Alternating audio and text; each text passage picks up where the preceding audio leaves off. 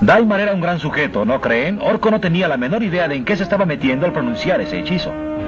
Pero pronto se dio cuenta de que se enfrentaba a algo que no podía controlar. Todos sabemos que en realidad no existen los hechizos ni los demonios, pero sí los problemas.